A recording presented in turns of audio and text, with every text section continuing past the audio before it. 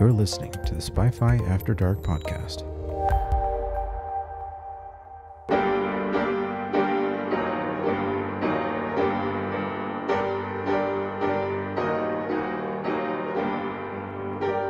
And welcome back to SpyFy After Dark.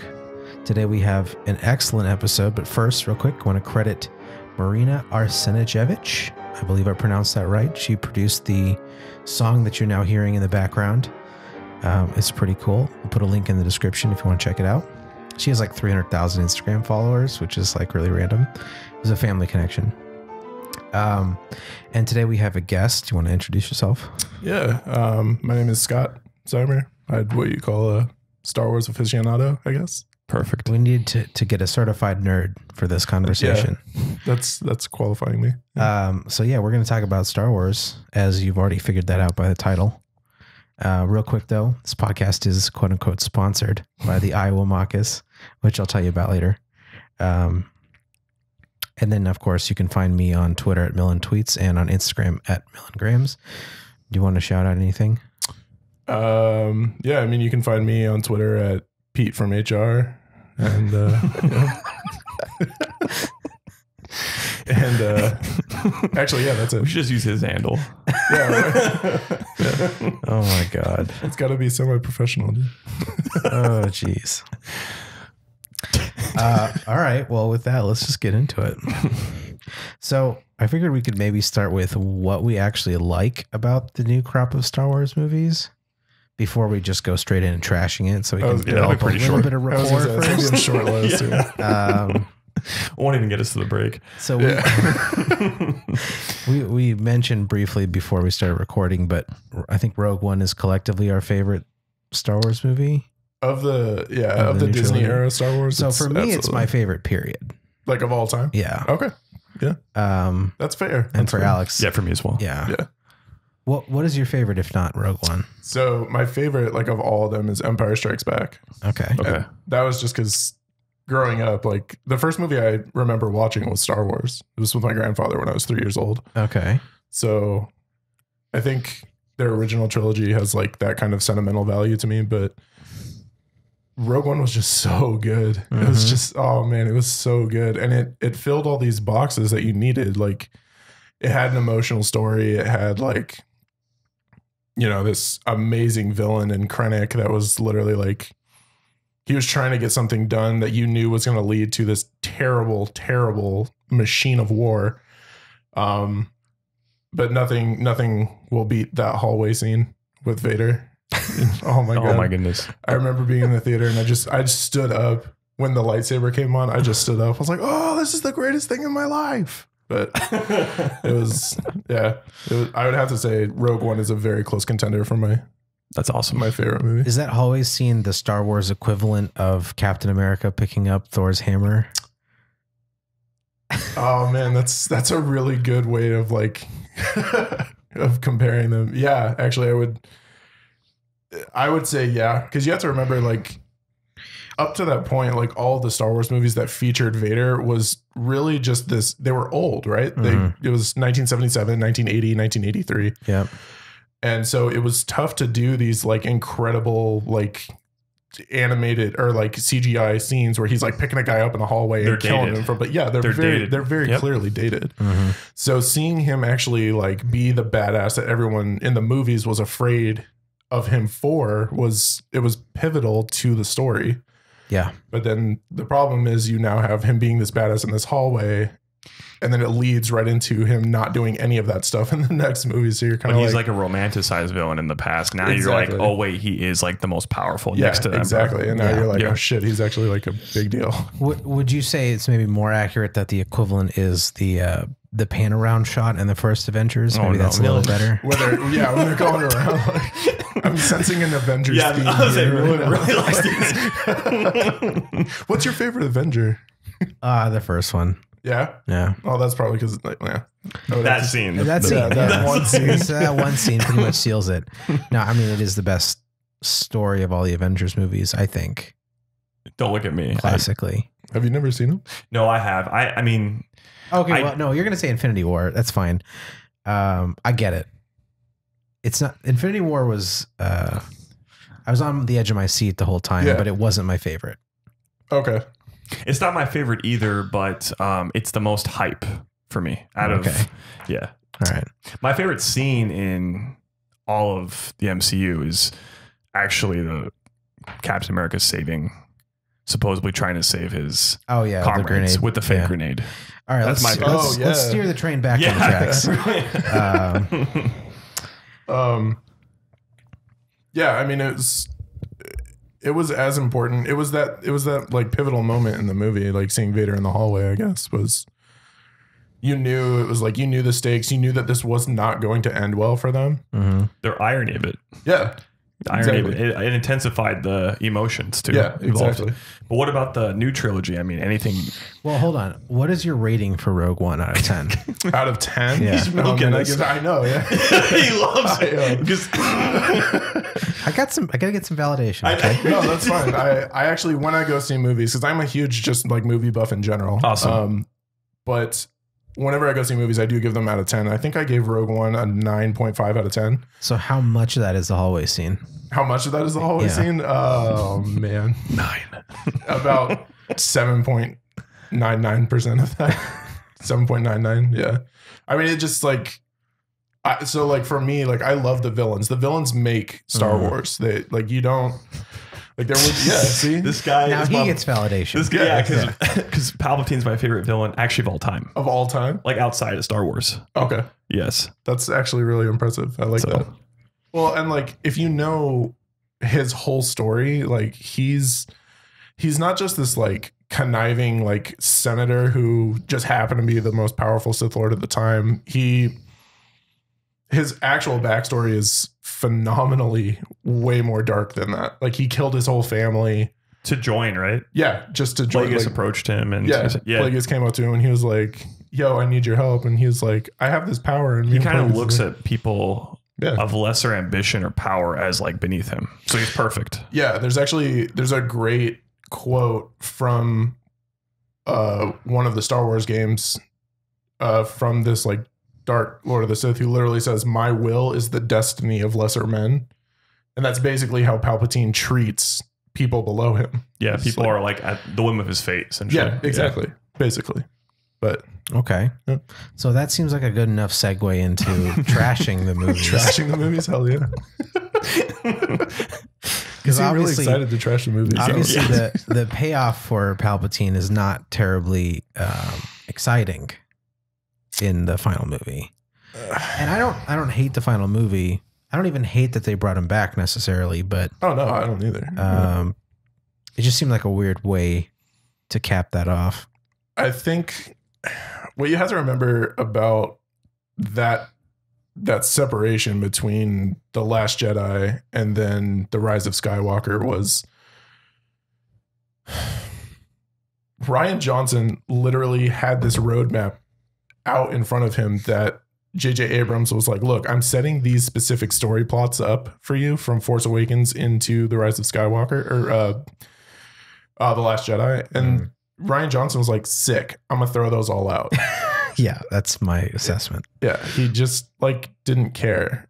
And uh, I mean, a lot of that is just he he wanted to tell a different kind of story, and I get that, and that's fine. Be ambitious, you know, go out on a limb and do your own thing, but do it in a different saga of Star Wars because You, you you're Or trying to say a spin-off. Yeah, you're trying Yeah. to say franchise, but you don't want to say it. Eh, it, yeah, Yes. like franchise basically. Like you can franchise is too sacred.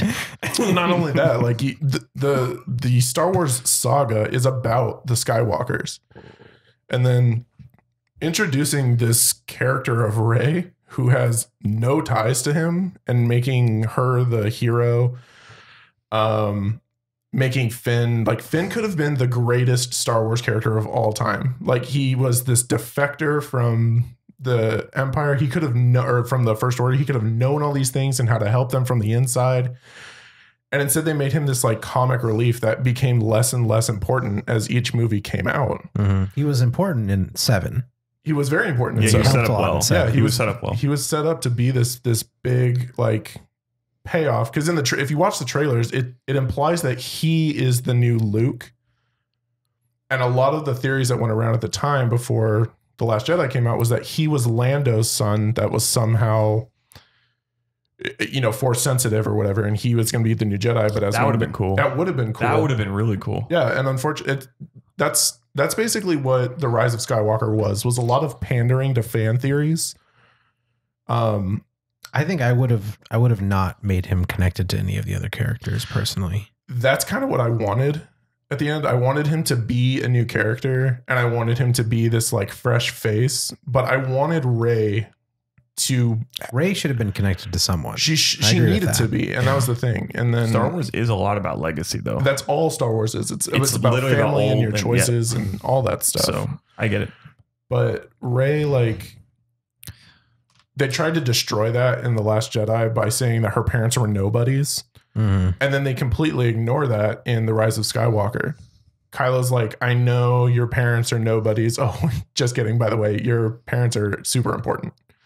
Somehow. I don't know why, but they're Mhm. super important. I also don't understand like why Pal like how Palpatine can actually be a sexual being of any capacity Right? It's weird, right? without without just for the sake of trying to create someone to take his place. In which case, why would he ever abandon that same that Well, that's like why would he keep loose ends of himself Yeah, out, exactly. out, That's- out and you know what I mean? That's it where doesn't it make it, it's weak. It's weak. Yeah. like Well, and he like so his Rey's father was just a failed clone of Palpatine. So he's not she's not Palpatine's granddaughter, she's just Mm. his pseudo daughter. Because her dad was just a failed clone of Palpatine Oh. that got away, met this girl, they had a kid, and then if I remember correctly, this the assassin killed both of her parents and after they left her on Jakku. And I'm just kind of like okay, like why go after her then? Like why make her this big important person if Palpatine can just like clone himself and reclaim like the first order? It, it just like remember the idea I had for how to make nine better? I What? will remember it as soon as you start saying what it was. Essentially, I like the I sorry, not to go, I'll- no, you're good. just really quickly, like kind of on what you're talking about. Like I felt like cloning was kind of this potential route to bring in new and dark challenges for uh, the protagonists coming from the Sith side because that's something that was more talked about on their end always. Like Oh, I'm yeah. surprised Yeah. that like nine didn't incorporate like I actually thought that they were going to bring back like some old Sith. That would have been different. That would have been cool. maybe a little, maybe maybe a little much. I like the idea of I that. still wouldn't have done it. I mean, they do it kind of because if you pay attention to what Palpatine says, there are other Sith spirits living inside his body. yes, and that I It have very seemed- strong opinions about the yeah. Sith. I don't like. So- Yeah, I just um, you know how like they had the final order kind of come out of nowhere. Yeah, like where have they been this whole time? To me, threatening to destroy everything is like cheap yeah, versus the idea of bringing back like more of what Palpatine is just seems more like elusive and dark to me. I don't know why. Versus just upping the ante on the military side. It just it got old and it was like yeah. too quick. And I, I I wanted them to bring like a new spin, especially since supposedly Snoke, which was which was a cheap throwaway, and Snoke could have Oh. been a oh. great character. The fact that he was a throwaway f- due to him being a disposable and cloning, why, Yeah. I wish they would have like brought in more of that. Well, I mean, let's not forget they did need an excuse for one of the characters to say on your left. It's actually a good point. Yeah. Really? I missed it. We're gonna keep on going. your left? That's from Captain America. No, I know, and it's from it's from Finn, or uh, Captain America and And the you're- last one, Endgame. This is, well, I missed yeah, it. Sam says it's want one. whatever your head. Yeah, no one actually says on your left. It's just the same thing. it's yeah, Yes. like You should have. Lando Yes, yes, yes. The final, the final All fight. right, Yes. Whatever. That deserved a laugh, but didn't get it. I- I'm laughing. got He's it. laughing. Like, yeah, I, Yeah. I thought it was funny. Yes. All right, whatever. Sorry. no, I think I, I'm like, and that's a good point. Like as far as like the the Sith go, I think my problem is I love the Sith. Like I love the Sith lore. I, I love where they came from. Um, and the the biggest problem right off the bat that I had with the Rise of Skywalker was you weren't supposed to be able to clone Force users. It didn't work that way. Like just because you gave that person a duplicate body didn't mean that that duplicate body was going to be as powerful in the force because it There's wasn't probably- the original There's person. probably like conservation of like energy or something Yeah. going on. You can't you can't double force. yeah, exactly. You Just- can't just be like, "Oh my god, if I'm this powerful, imagine if there's two of me, I'd be twice as powerful." No, it it didn't work that way. And then like they were like, "Well, what if we just did this and had every Sith embody this one body because the body of Palpatine isn't the original body. That's also a clone." And that's the other part that doesn't make sense. If he's a clone, why is he all messed up?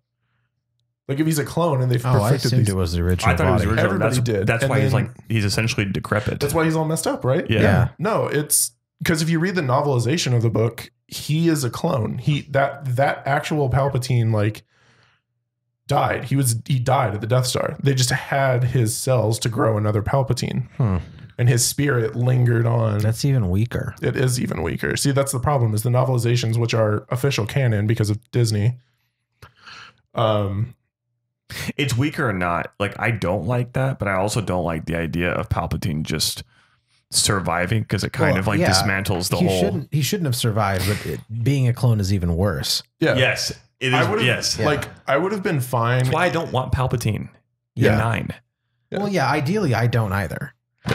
It would have I been. mean, I, Because I, don't see, like the idea of the legacy being thrown out. exactly. Well, that's the whole thing. I Like, see. Well, I see nine. The problem of nine being it's a conflict between you want to create new characters and you also they felt like they had to play pay off old characters at the same That's- Mil- time. Milne had that's the talked about this thing. before. He also he, he th- that nine essentially also had to like make reparations for eight, causing kind of like a split in the I mean, audience. it's it's Yeah, really like, bring it's them back. really Exactly. clear that there was a difference of creative vision, which caused a narrative fracture that was physically unrepairable.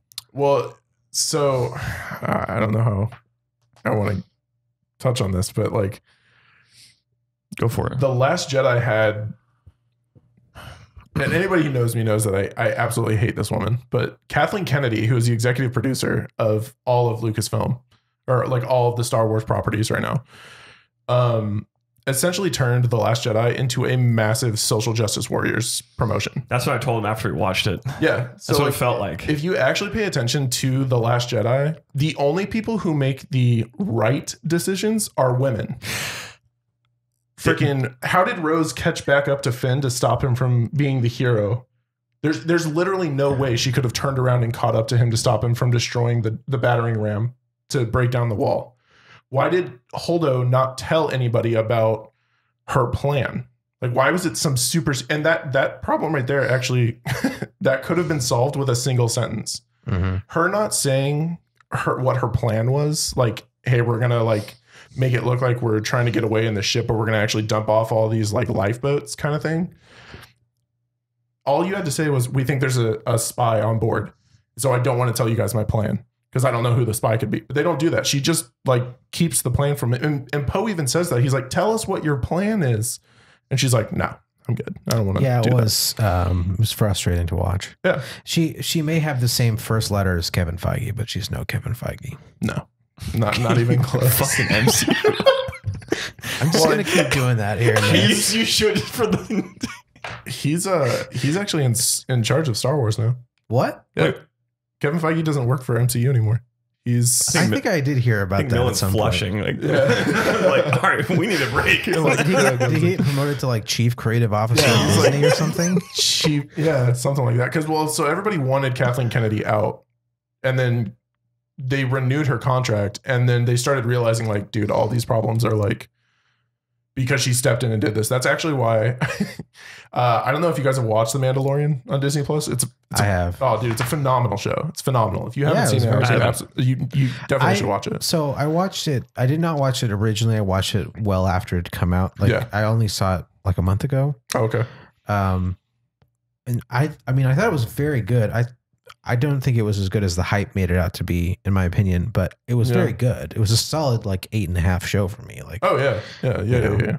If, there, there were really good story beats that I really would like to see continued, um, as they go. Mhm. But I did feel like the whole thing lacked a little bit of, um, uh, what's the word? Um, continuity through the whole show. for the most part, yeah, the only continuity you really get through, I'm try, I'll try to avoid spoilers as You're much as I fine. can. Is the asset is Yeah, like the main Sure. continuity, and that's true. Would you have more continuity if you had more out of context knowledge by like reading books? Like, are you No, gonna, are see, you and are that's- you oh, okay? I was That's gonna say- the that's the thing about the new Star Wars under Disney's leadership is if you watch the movies, you get about 85% of the story. You know 85% of the story. Most of the expanded stuff is in between or behind the scenes stuff. Um like a lot of the novels take place in between Return of the Jedi and The Force Awakens. And it's just kind of filling in the gaps of like what everybody's been doing or like the animated show Rebels, which I absolutely hate. Um, I just that's basically like how Vader and the Inquisitors like hunted down the last of the Jedi and how the rebellion was started. Um, what didn't you like about it? So wait, real quick, just for people who were curious, Kevin Feige does still work for Marvel, but he was Oh, does he? promoted up to chief creative officer, pretty much oh, the whole thing. just thing. for di- okay, yeah. that's so what, he he's the president of Marvel, and he's also chief creative officer of the comics, television, and animation. Wow, okay, okay. So basically, he controls everything. He's he basically does it all. that's Yeah. awesome.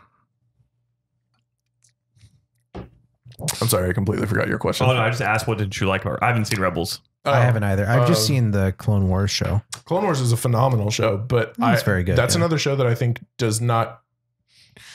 I don't want to say deserve the hype it gets, but the hype lingers long after the show's over. Like the show's done. Like the final season just finished on Disney Plus, Mhm. but everybody's talking about.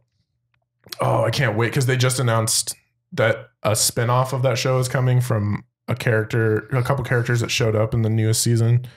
And I'm like, dude, can we just get something like brand new instead? Can we like focus on a completely different era of Star Wars?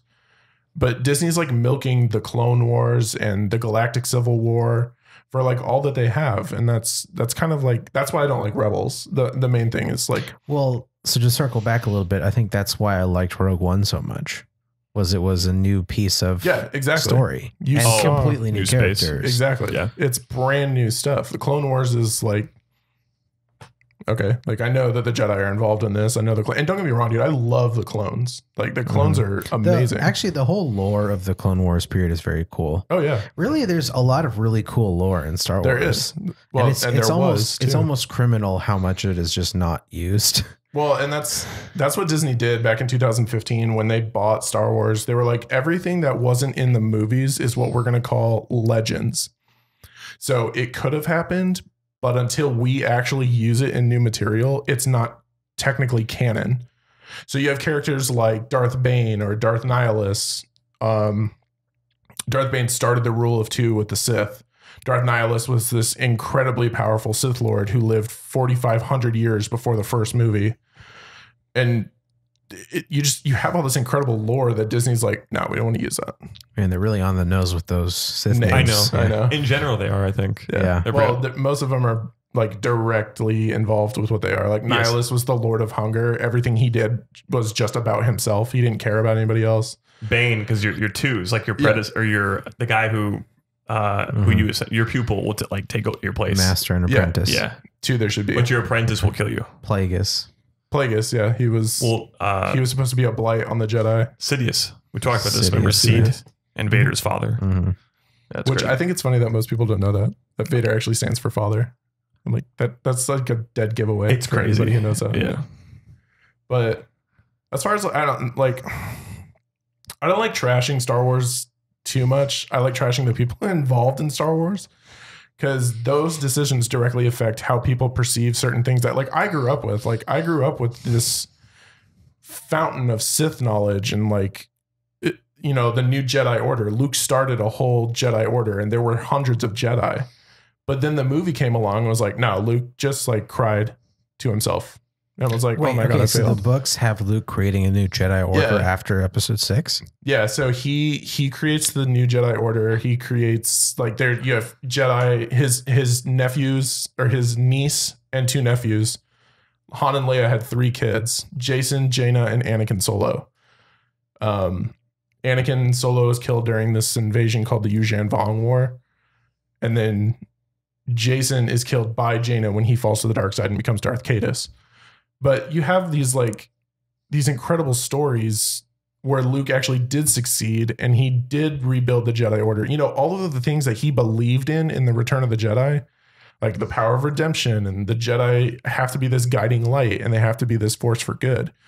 And then the Force Awakens comes around along and they're like, no, we want Luke, Luke to just lose all hope. Yeah, to be a bitch. Yeah. I explain. You know, I was talking to Millan about this. Like, it actually doesn't make sense No. to allow it because of the accomplishments he made in in, in six. Yeah, it, it completely wiped out him redeeming Vader at all. we you know like essentially like Vader. Mm-hmm. We, we, I, I don't want to go over it too much, but essentially Vader is like a maniacal, genocidal Yeah. person, right? Mhm. And he's he's probably the most powerful in the universe, but he's like running on like seventy percent. So we'll say Palpatine Yeah, in is the right. suit, he's like 80% of what he could have been. Right. Yeah. So it's like you got Palpatine and you have Vader, and Luke is standing up to his father after finding out what his father is, and really can't take his father on in, in you know, if it was like all out against each Oh, other. yeah, yeah. Father's gonna hold back.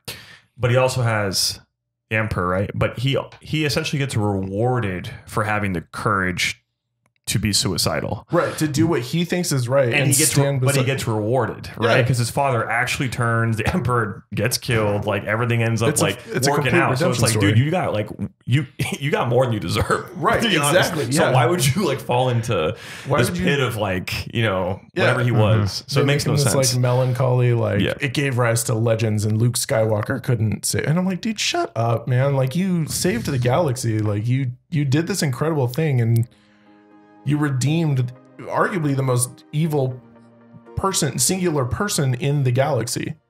You made him like realize, Right, like, galaxy, oh, maybe yeah. what I did Mhm. was like not a good idea. like, All right, and that seems like a good place for breaking the road. now. we'll be back in a minute.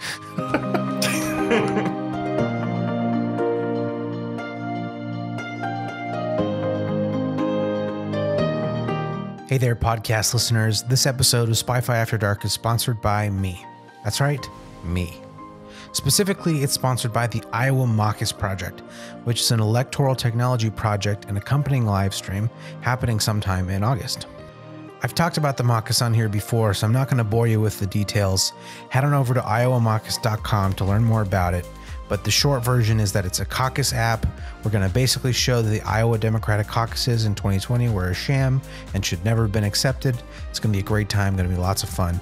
Check it out, iowamockus.com. But specifically, what I wanted to talk to you about today was the Iowa Mockus devlogs that I'm doing on YouTube. You can find these by heading on over to YouTube and searching for SpyFy, which is the channel that the devlogs are on, or I mean, you could just search for Iowa Mockus devlog, I guess, if you wanted to. And basically, it's a behind the scenes process of how I'm building the Iowa Mockus. The first devlog was on the marketing strategy for the Mockus, and the second devlog, which I'm currently working on, is on how I'm building the software. It's kind of like a layman's version of how I make software. Anyways, we'll have other topics on there too. I'm hoping to produce episodes every other week or so, and they give you an insight into what the process of building something like this is like. So, head on over to YouTube, search for SpyFy, search for Iowa Mockus devlog, check them out, hit that subscribe button. You know how it is. That's it for me. Let's get back to the video.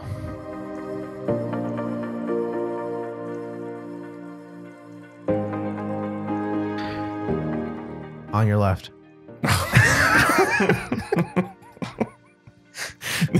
Just like you that. literally asked for it. I so- know. Not even like, could you grab that? It's on your left. Like, it's just on on your, your left. I'm gonna start saying that in my everyday life. Yeah, you should. It's our new intro. Instead of your turning my dick around, I'm just gonna be like on your left, and I'm gonna yell it out my window and hope that someone heard me that I'm changing lanes. Like, Just you're listening to the SpyFy After Dark podcast on your left. Hit that like or subscribe button on your left. oh oh god. Oh no, it's What's oh, up? it's not on your left. No, I'm like, where, where? Where's the button location? Oh man. All right, so let's let's begin the reconstruction process. Putting everything back together. Yeah. Yeah. So if we could wipe the slate clean, 7 through 9 Mhm. gone. How would we recreate the overall story arc? Honestly, like, Let's let's say we have to keep the same characters Okay, so you want okay. Not with all their attributes, but the same blueprints of the characters. Okay. or at least the main characters. The main characters, sure, yeah. Okay. Like we have to keep Finn, we have to keep Rey. Poe, Try to Rey. try to Poe, change yeah. as little as possible. You, so Try- you want like a different story, but the same. Yeah, reg- regarding Try to change parts. as little as possible about the architecture. yes, the architecture But itself. the Okay. plot can be completely Yes. different. Okay, I got you. I got you. In that case, honestly, I I think I would just make. I would make Rey just a Jedi apprentice. Luke succeeded in making the Jedi Temple, and she. Luke has to keep it a secret. Who you could even keep her as Palpatine's granddaughter. You could even keep that the same. Just keep. She has this dark past. So Luke then becomes the new Obi Wan, in keeping from Rey who she is, or even better yet, you That- can you could make it like. No, Like- actually, I, I kind of do like, like there's a darkness inside of I her. like Yeah. that. Where And it's she's, like, like, nine ends up grappling being with like, it, but- oh, sorry. but he has to like keep that away. yeah, Nine exactly. has like three tonality, except there's no fight and like conversion. exactly. He actually succeeds Yeah, he actually is like in like keeping her from. keeping her Turning. being- Well, that was another thing that was so stupid about it. Like she just because she's Palpatine's granddaughter, she can use Force lightning. Don't even. That's not how dude, that works. I know. It it's just dumb. it didn't make any sense at all. Yeah. Like there's literally half the Plagueis book talks about what happens if you use Force Lightning and you don't know what you're doing. It's like you become this wrinkled monster and you could even kill yourself trying to do it. Like, are you familiar with Avatar The Last Airbender? Yeah. Okay. So when Iroh's talking about like if you're not careful about transferring lightning through your body, it could literally kill you. It's the same thing. But in the movie, they're just like, no, she's a Mary Sue. She can literally do whatever she wants. Well, and like I'd also talked to Millan about that. How like just in the movies, that's all the only context I have. Like the Mhm. differentiating factor usually between Jedi and Sith in terms of like fighting capabilities is Force lightning. There's like no other like. Yeah. dis- di- di- so why would she just? know that.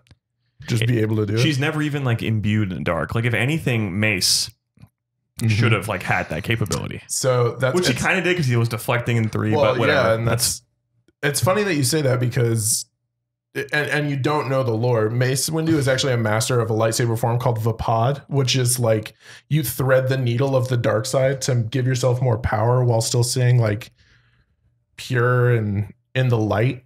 And so he that's why he looks like that. That's why he's so intense cuz he is like literally walking this tightrope of if he messes up a little bit, he'll fall to the dark side, just trying to use his power to protect himself That'd cool, fight. that'd be cool if uh, Rey wanted to learn his exactly. his type. If they had done that, but the movie set up Rey to be like this physical embodiment of the balance of the force, and that's not how that works. Like she can't just you, you can't use both sides of the force. And everybody's like, yeah, you can. And they're called gray Jedi. They're not gray Jedi. Gray Jedi are not a thing. That's so dumb. It just like it just doesn't make sense. It's it's cool metaphorically that it's like okay, there it, like like you sh- like there you shouldn't be or you don't have to live your life you know in that kind of black and white architecture. Right. But in for the sake of Star Wars, like you're just destroying the whole like Star Wars set something up and like do you know what I mean? at its core, it's literally just a good versus evil story. And I know, I'm sorry, I know I got off on a tangent here with uh, rebuilding the story, but she, for a long time, it was established that you can't, like, so if I wanted to, if I was a Jedi and I had healing powers, but I somehow learned how to use Force Lightning, that would weaken my ability to heal because I've now taken my devotion to the light and corrupted it with the powers of the dark side. Plus like plus the plus the Sith, from my understanding, at least some of them that we've seen like Dooku and um Maul.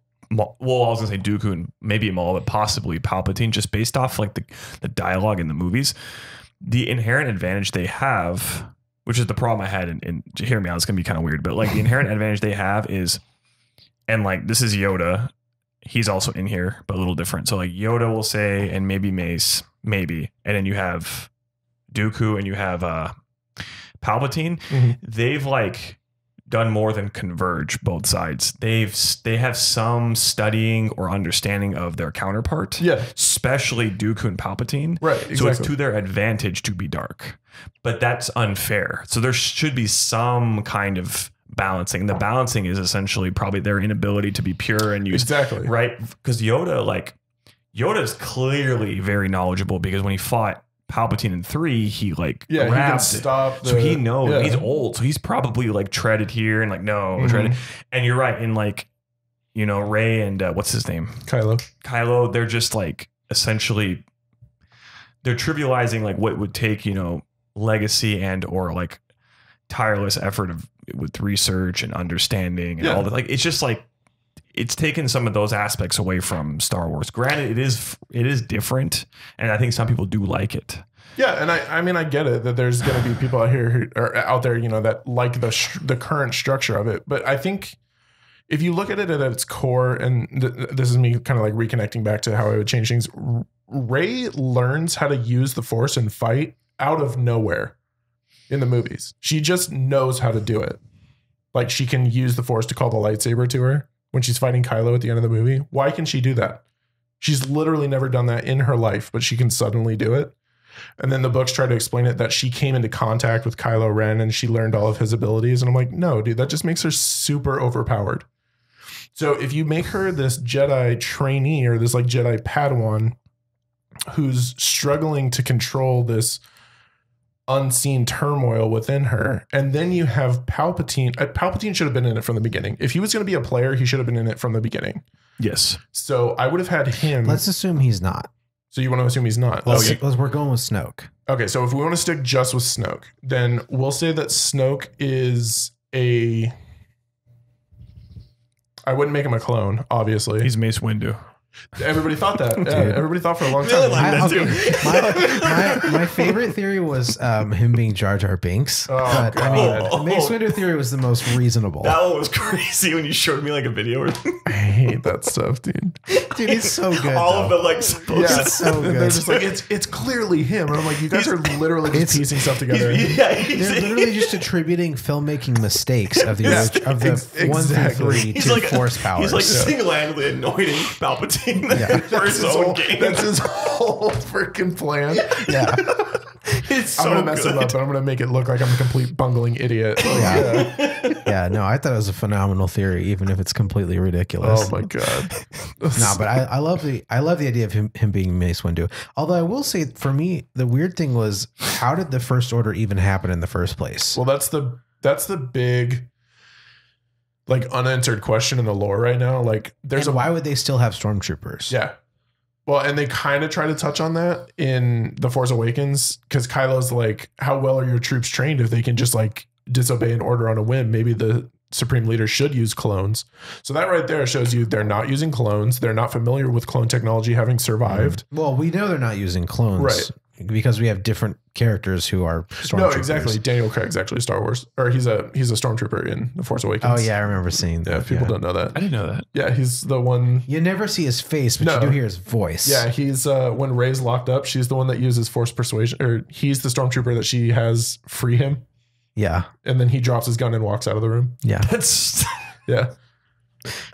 Like there's tons dude, there's so many cameos in those I'd almost be. I'm. I'm not sure if this is a case, but I almost bet he wasn't actually even in the costume. He just did the His voice. voiceover after. I'm gonna be upset if he wasn't because you wouldn't have to be. Yeah, he No, wouldn't he have wouldn't to be have at to all. be. But I think that would be so funny if he It was. would- I don't think like, he was. You would think for commitment's sake you'd do it. yeah, but there's no. know. As far as I know, there's no images of him in a stormtrooper suit. exactly. So I don't think he was. I think they were just like, "Hey, can you record this real quick?" They just Yeah, called I'd almost bet it was. It was literally like they're in post. They're like, what if we just got some random Yeah. like high end actor to do this random role for two we just got seconds? James Bond to free Rey. Yeah. All right, cool. and somebody was just like drunk at a table reading one night, and they're just like, "Dude, hear me out." Hear me out, Daniel Craig. Craig. It's genius. no, like, well, and then like you have uh, what is it, Simon Pegg from uh, who plays Scotty in the Star Trek movies. He's the guy that gives Rey the food in the beginning of the movie. The Oh, I big didn't alien even guy. know I that. knew either. But like you have cameos all over the place. Uh, It's ridiculous. But uh, back back to the the main thing. Like I yeah, I would make I would probably make Snoke like a long forgotten practitioner of the dark side. Like he he could have been a rival to Palpatine, but Palpatine kept him in check. Mhm. And now that Palpatine's gone, Snoke has been like rebuilding this force in the shadows. And then he finds out about Luke's grandson. And he's like, what better way to destroy the Jedi than to take the hero of the galaxy's grandson or uh, nephew, rather, nephew, uh, Nephew, nephew and convert him to the dark side? What if it's a reverse rebellion situation where the First Order is the ragtag rebellion, like the remnants of the Empire trying to Trying to reassert hold on to dominance? their. Yeah, and so that would have been a good one too. Luke's Jedi uh, Order is keeping the peace. Like more established. Yeah, that that's actually a, another part of the story. In well, that's another expanded universe story. There, the majority of everything that happens is Luke rebuilds the the um the Jedi Order, and he has to deal with like Grand Admiral Thrawn, who is one of my favorite Star Wars characters of all time, um, or Grand Admiral um, Ysanne Isard. It's these people who like held on to the belief of the Empire and didn't want to give up their power. So they were like fleet commanders and they had these like ragtag fleets that they were keeping control of like imperial planets and stuff. Where does the Mandalorian fall in the timeline exactly? The Mandalorian is like 6 months to a year after Return of the Jedi Okay. because when he first talks to I can never remember the guy's name, but when he when he first talks to Carl Weathers he uh Carl Weathers is like I can pay you in imperial credits and he's like the empire's been disbanded for I Yeah. can't remember whatever he says um that money's no good out here I need Mhm. something better and so you you get this idea that like the empire's now in hiding that's why the the client um is like hidden Yeah. stormtroopers are dirty they're not Mhm. organized See, I would have I would have doubled down on that Mhm. if I were designing this. I probably wouldn't have had Luke have a whole Jedi Order. I would have had him have like a small band. yeah i would have had him like in the building process like Yeah, like literally he's got like five or six yeah Jedi with him Mhm. and like some trainees. yeah i would like have been one fine with that. Padawan per Jedi or something like that. Yeah, right? I would So have been like totally fine people, with that. Yeah, right? And he's the only Jedi Master. that's actually exactly how it was in the expanded universe before So- Disney got a hold of it. So that's that's where I would have started, and I would have had instead of the First Order, or, or you could even call them the First Order, but I would have just had like remnants of the Empire trying to work together to reassemble Yeah. some sort of a governance structure. That's absolutely how it should have been. That that to me would have been a greater stakes than this out of nowhere first order, which in the books the first order is the surviving remnants and resources of the empire. That's why they use stormtroopers. Mm-hmm. That's why their ships look the same. Well, and imagine imagine if essentially you start out episode seven and Luke is you know helping his um, Jedi sort of fight back these remnants of the Yeah. Empire, Mhm. and it's like this ongoing fight fight that they're doing like here and there on various Mm-hmm. planets, and then all of a sudden he realizes there's something behind Yeah. this force, and that's Snoke. yes, exactly. Would you still have Kylo? I would. Yeah. Yeah. So, So, if, you, if you still have Kylo, then you could have that. You could have two core, um, um, essentially like groups trying to establish himself, right? And then you also have Rey, who's um, Talking to the mic. Rey, who's essentially like up and coming. You have Yeah. Kylo, who's up and coming, and you have Snoke trying to get Rey, and then you'll have Luke trying to get Kylo. Well, in my Yeah. in my so version, essentially, I'm it's like thinking, a race to see who can. In my who can version, I'm the thinking other Kylo is still on Luke's team and turns by the end of seven. See, that's exactly how I would have done it. Yeah. yeah. You would do it like that. I would make it so Snoke, like Snoke has his whole thing is he has to destroy who Luke is, and who Luke was was the embodiment of hope. That's why the fourth Star Right. Wars movie is literally called A New Hope. It's it, it- that's the whole point of the original trilogy is now there's hope for the galaxy again. It's been ni- 18, 19 I guess my only, years. my I guess my only problem is aside from Snoke, who would be in hiding. Um, if there's still remnant remnants of well, not even remnants. If if Luke is building up an order and he has Jedi on his side, like what's stopping him from overpowering them?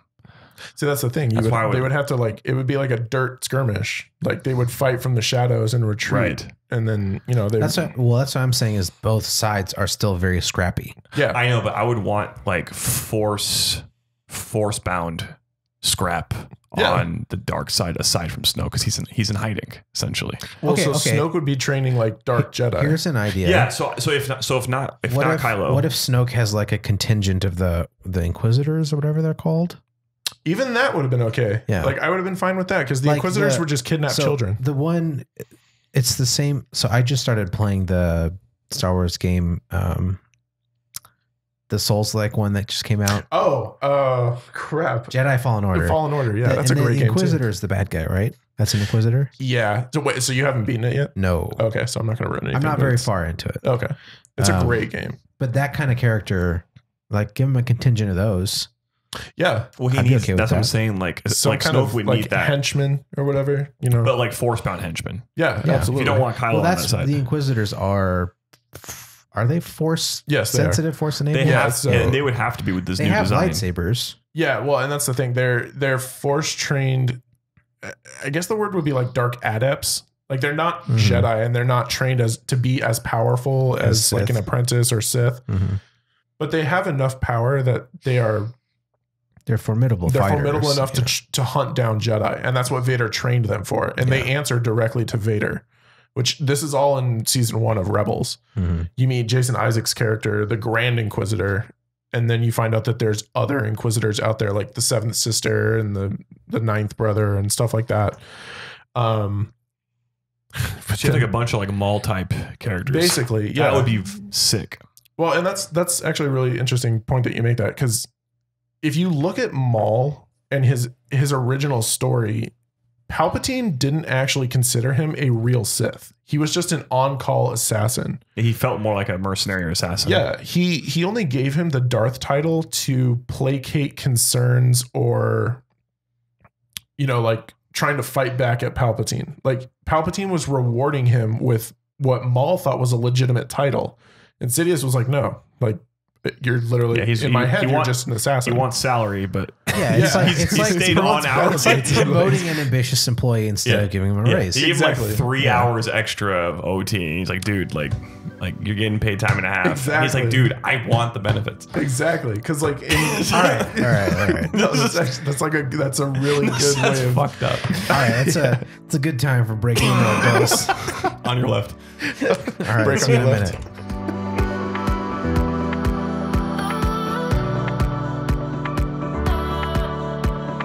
Hey there, podcast listeners. This is Millan Singh, host of SpyFy After Dark. I'm here to just please ask you to rate and or subscribe on whatever platform you might be listening on. It really makes a really big difference to us, and it makes us feel really good about ourselves. So you really should just do it for that reason alone, honestly. But seriously, it boosts our organic search rankings and makes it easier for people to find the podcast. And so it would really help us out a lot if you could shoot us a rating, subscription, whatever's applicable on whatever platform you might be listening on.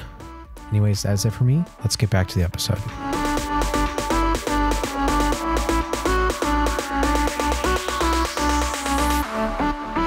And we are back. On your right this time. There's like nothing to my right though. yeah, it's fine. To the, the, the listener's right. I'm sure there's Gotcha. something. Uh, so let's circle back to MCU. Keep it with the MCU. let's, let's circle back to rebuilding the the universe a little bit. No. Um, so so yeah, my my pitch was pretty straightforward. It was like a guerrilla war Yeah. between two scrappy sides, See, I think that's that's what makes it more believable. More Yeah. believable post six. and Yeah. the Yeah, and the post-six. struggle between Rey and Kylo is the like focal point Mhm. that we anchor around. Like, And I I'd even I'd even still kill off Luke and eight personally. I actually like that too. I like the idea of them being under the apprenticeship of Luke and and building tension between them. Right, Like maybe they yeah. see things differently, but they're both on his, on Luke's Mhm. side. well, and that's and that's there's a- a, split. Or exactly, rift. and that would have been a great way to explain. Well, I'd I'd have um, Rey would be the apprentice of Luke. Okay. Kylo would be someone else's apprentice, but Kylo is jealous that he's not Luke's apprentice because he thinks he's the best. And that's that's the in The in for the Snoke in for to, Snoke to Okay. come in and take Yeah, him over. I can get and then he kills his master to turn over to the Sith and leaves and becomes Snoke's apprentice. See, and that's I think that right there is the most important part of what you just said. To join the Sith, because in uh, before the rise of Skywalker, they were doing their very best to erase the Sith from history. They were like, They didn't even use They the term. didn't. He's technically not Sith, right? Snoke is Kylo? not Sith, Mm. right. and he didn't consider himself Sith. Kylo wanted to be a Sith, but he didn't understand what that meant. He, He also- just wanted to be like Vader. We talked about this too. He he he they, he didn't embody Sith because Sith are like, at least from what I've seen in the movies, like the Sith and Jedi are actually very similar, very very Yeah. calculated and measured, and um, they have a lot of belief in what they do, and they Mhm. don't like exude a lot of emotion. He was extremely emotional with a lot of his behavior. I felt like I- the Sith are very like I would collected. the Sith are They'd all also- about emotion. So like I anger, know, but the way- fear, aggression, all that stuff. They, they it's like a self-serving cycle. Yes. Like you're afraid of something, so that makes you angry. But I feel mm-hmm. like theoretically it's that, or like like their philosophy is that. But Right. like when you see him on screen, Kylo doesn't even he doesn't come off to me like a Sith. Like the No. Sith are like literally like intellectuals. Like when Yes. you, when you like all of them are very similar to the Jedi, Mhm. Yeah, and Dude, and just my- different in his belief. Yeah, or, well, you have to remember too. It's it's a religion. there we go. They're like Yeah. it's like a They're religions. practice. It's not a- just like In my in my version, they're also brother sister. okay. See, that's that's actually what I wanted Mhm. from the get go. Was Yeah. I wanted her to be Luke's Related. daughter, oh Yeah, I think either that or they're both. Um, Han and Leia's Han and kids, Leia's which kids. is exactly how it should have. That's how it is in the I would have been okay with the either old one. expansion. Yeah, If- Either one are okay with me. that that would have been totally fine. Rey would have just been the new version of Jaina, and Kylo would have been the new version of Jacen. Because Mhm. in the original lore, before Disney took over, Luke is actually the one that had a son named Ben, not Han and Leia. Han Ah. and Leia had three kids, and Luke only had one with an ex Imperial assassin named Mara Jade, who any- anyway. Um, but yeah, I would that, that I would have been okay with that if they were both Han's kids. Mhm. That would have been a lot because it would have made it even tougher on Han to be like, look, I get where you are, but I'm also not force sensitive, so I don't know how to help you. Mhm. But in the movie, you're just like, oh, Han just ran away from his problems. That's basically the theme here. The only person Mhm. who stayed to do something right was Yeah. Leia. And even then, she was just like, oh, I believe our son will come back. I have to focus on the resistance. And I'm now, still- now watch me Yeah. fly through space. Yeah. oh my God. I'm still I'm still okay with ultimately killing off all of the old characters in the trilogy. I am too. I, I I think Luke sacrificing himself to save Rey in eight Eight. works. I think the way they did it in eight was really dumb. Yeah, But doing it. but I would still do doing it. yeah, yeah, yeah, I, I'm fine with that. exactly. Um, because then you have that's the other problem with the movies is they they create these force powers that just do not make sense. Like Rey and Kylo can traverse space and time to I don't want hand to get each into other this things. because because Dylan and I we had it. Dude, I hear you. I'm not. I the thing I'm was, about to I, go off. I wasn't entirely against it, but it wouldn't be my choice. I brought his his rating down of the movie by like a whole point because of this oh, conversation. Yeah, Dude, we, were, we argued in the theater for like or in, in the when okay, so like I, I need you guys to understand when I was sitting in the movie theater and she goes like this to put her hand behind, and then Kylo has the lightsaber. I literally out loud went, "That's so fucking dumb." like in the theater, hella loud, and all these people around me were like, "Ha!" Like everyone agreed. They were just like, "That's so stupid." It just like it didn't make sense to me, and like, why were they the only ones in the history of Star Wars to be able and to do it's, that? it's actually like what so Millan Millan looked at it in a different way and I, I do agree with this aspect there should always be room for creativity and for Yeah. new things but the problem with the implementation of that kind of power um and that it's also not sidebound like for Yeah. instance you know what I mean all these Just things anyone can do it. now? everything all of the all of the new was prophesized Mhm. in nine Well- and actualized in nine. It was all in one movie. That's So- the biggest problem. yeah. it well, yeah, all it's, happened it all in one started movie. in concluded in the same movie, and you're like, there's no build up to this And I asked a yeah, million. you just need you need to have the force dyad thing be a thing from the beginning. from the beginning. and it Yeah. would have been cool if Luke but you and don't even Leia have to had it. say it. You, and it was or like you- someone else knew about it, just like anybody else knew about it. like Would have been it could fine. be Snoke knows about it, but you don't have to say it until the end. yeah, It can just be like something that's inferred almost, or Mhm. like you see that what they have is different than anything you've ever seen before.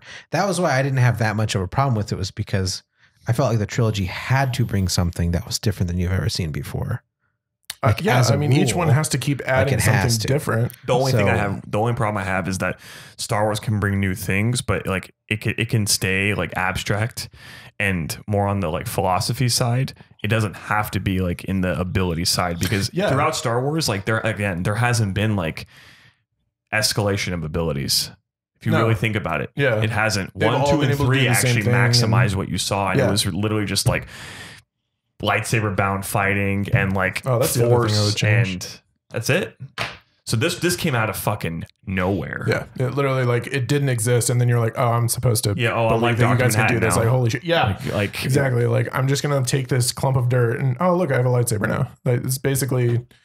it- It's not what happens, but it's in the same basic thing. Like they can do all these things that no one taught them how to do.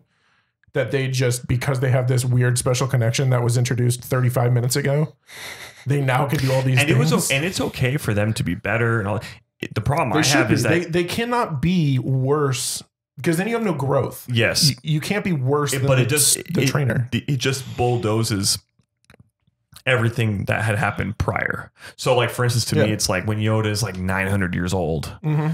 and like he's literally expressed nothing different in terms of abilities than anyone else. He's just better Yeah, at what other people. That's that. That's the that's the universe of Star Wars for me. And I'm okay with it. The difference is he's he's just more intelligent, yeah. He's more knowledgeable, and he sees things coming. That's Yeah, his he's version. more These guys are like, fuck that.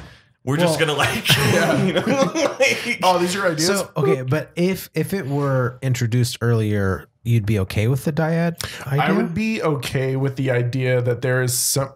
First of all, if Would you going, would you use it? Yes, Okay. if we're, uh, uh, but I would only use it in the context of them being brother and sister. If they're two completely random people, it just does not make sense. It just doesn't because there's no connection in the current movies. There's no connection between them except the one that they create.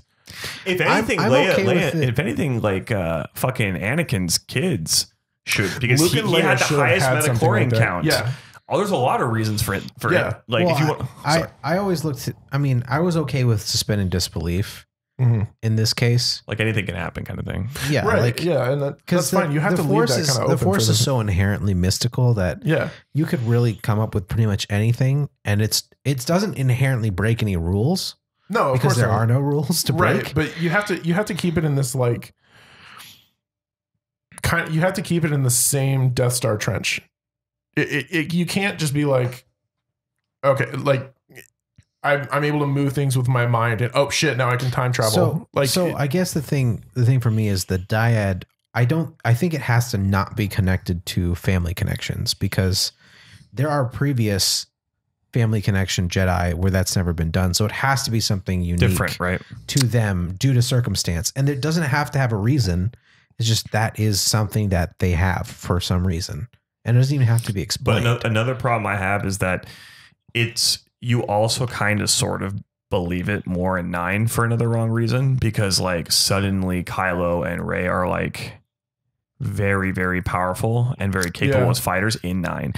Literally, if like if they had a more realistic progression, it would make even less sense.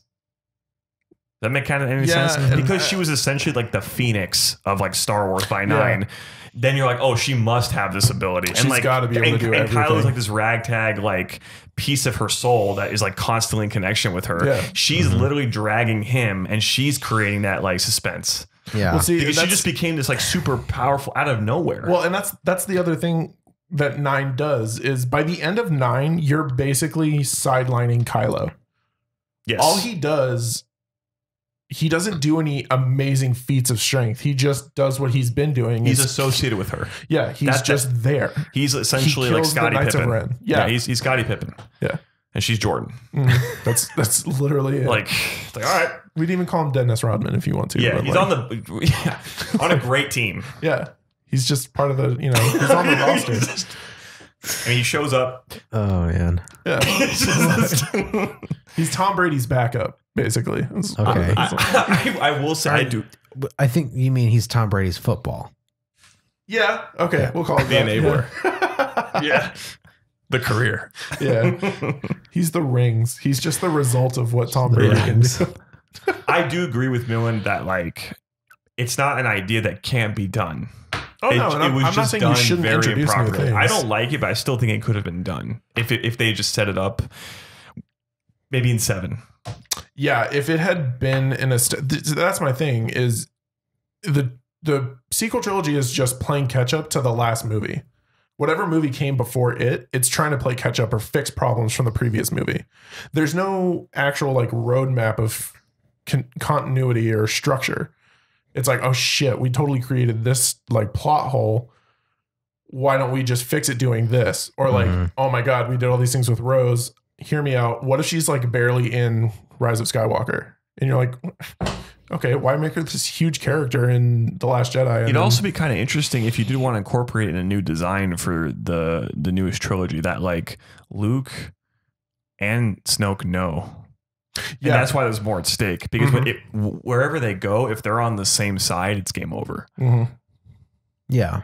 So like as a, as this dyad, wherever they go, if they're like on the dark, it's fucking lights out. If, Yeah. if they're you know what I mean. So it they're has both to be this Yeah. now they're like good the evil stakes. thing. Yeah. yeah, that's fine if they Yeah. want to set that up. That's I mean that's why I was okay with it.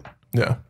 Well, and that's uh, I'm not opposed to it. I just it is hard to see something like that and then be like, okay, I have to accept this because this is now canon, kind of thing. Mm-hmm. because for a lot of it i'm just like i think this is dumb and i don't consider this star wars like i left the last jedi thinking that was not a star wars movie. I have no idea what i just watched but that was not a star wars movie. Mm-hmm. but if i could change like the overarching thing of anything i would change about those is i would actually have like legitimate real lightsaber battles. None of the none of the sequels have decent lightsaber fights. The force awakens they're literally just running through the forest hacking at each other. There's no like There is some charm to it well okay so because like it's like ba- it's like post six. right and so like So Kylo like- is trained like he knows That's okay. She should be like amateurish. yeah. That's true. He shouldn't be. he and he is so like when he's fighting Finn and Finn has very little melee combat training and you know that because you watch him throughout with the lightsaber like he has Mhm. some enough to fight off the shock trooper or whatever but um That's a good point.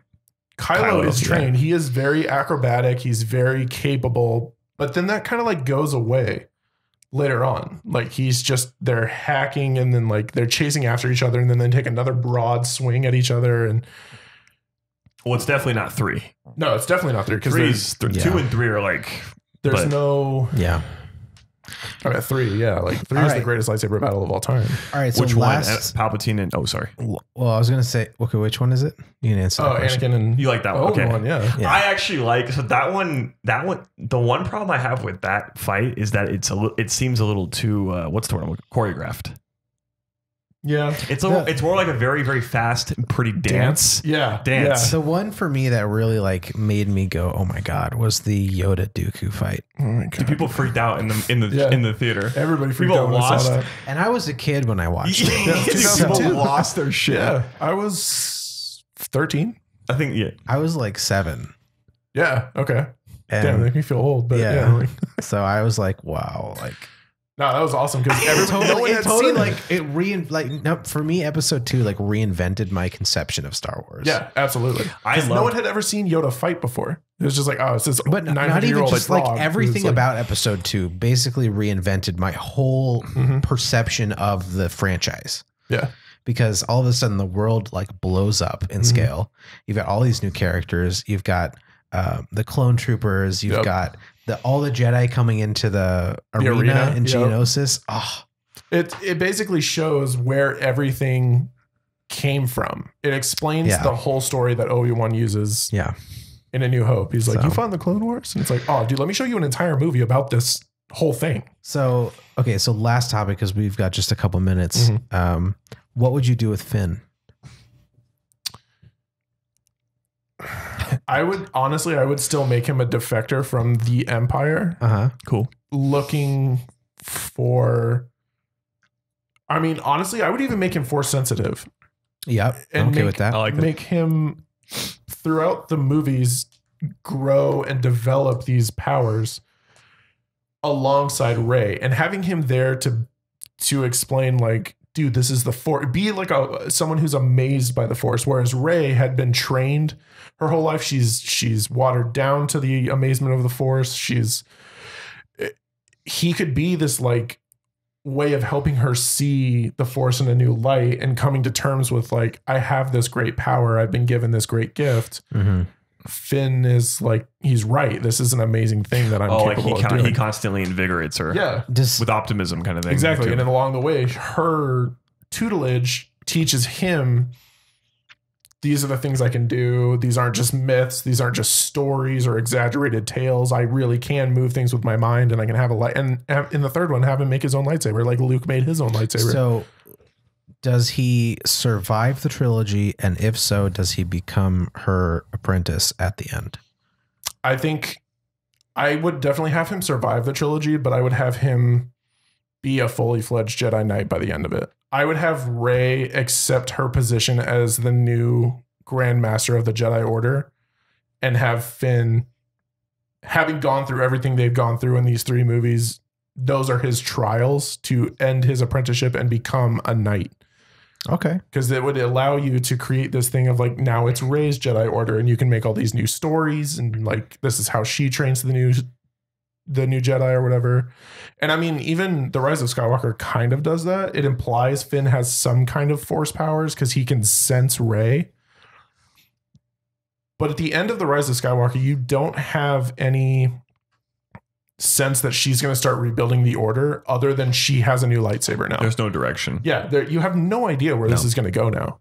There's no definitive like this is the plan. At the end of Return of the Jedi, you knew Luke was going to rebuild the Jedi. You knew he had saved the galaxy. You know that everybody was grateful for him. Um, and that they were going to start rebuilding based on the victory over the Empire. This you're just like, okay, well she Kylo's dead. Everyone that she's known is dead. She just has a new lightsaber and she's back at Luke's house. what what are we doing here? Yeah, that's I would just make it a more like definitive now we go forward kind of thing. This is like what do I don't Setting know up what to we're doing. repeat kind of the exactly. Star Wars. A whole setup. uh, a new, st- yeah, a new stuff. yeah. Okay. Well, I think that's a satisfying conclusion. Yeah, I agree. It's been great. Yeah. All right. Thank you. Any any final thoughts to end here? I love Star Wars more than the MCU. I'm sorry. Oh, All right. Uh, I mean, that's Don't fine. wrong, I I, love the MCU, but you know, it's Star Wars, dude. All right. I'm gr- like Star Wars has been growing on me more and more, but to me, the MCU is phenomenal. Oh, Like, yeah. I don't understand how how flawless it has been, minus like Captain Marvel, which I haven't seen but have heard bad it's, things. It's all planning, dude. It's Kevin Mhm. It's Feige. phenomenal planning. Yeah, my, my final thought is Kevin Feige is a genius. He should be the chief creative officer of Disney at large. And on your left, signing off. Thanks.